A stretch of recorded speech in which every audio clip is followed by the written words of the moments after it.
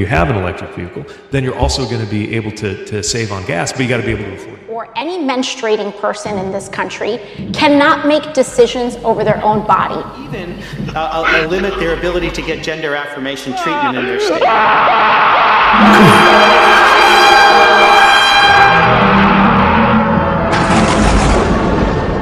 It is now my distinct honor to introduce the Chief Justice of the Supreme Court of the United States, John Roberts, to administer the presidential oath to the next President of the United States, Joseph R. Biden. The significance of the passage of time.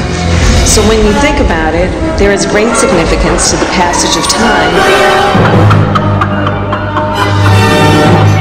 By the way, you know, I sit on the stand, and it get hot, I got a lot of, I got hairy legs. And the kids used to come up and reach in the pool and rub my leg down. You got more questions, but I tell you, if you have a problem figuring out whether you're for me or Trump, and you ain't black. You've been patient. Your patience is wearing thin, and your refusal has cost all of us.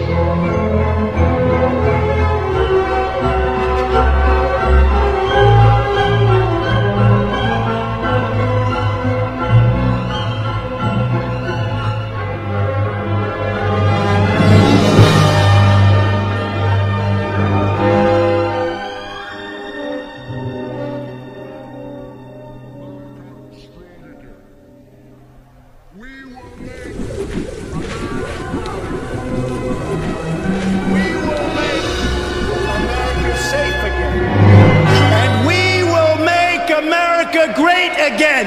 God bless you. I love you.